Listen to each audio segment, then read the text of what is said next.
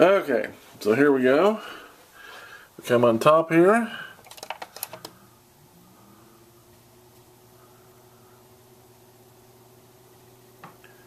You barely hear it, but you can feel it.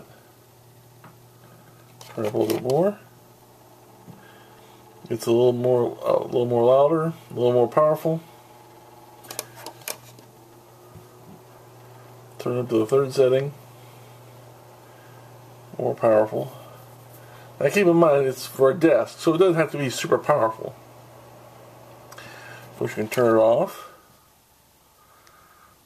On the off. Then of course you got the swing setting.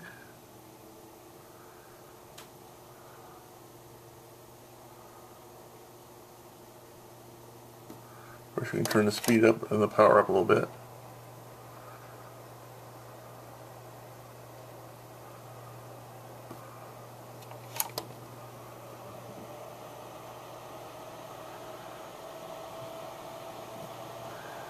You can, you can feel the cool air. It feels good too.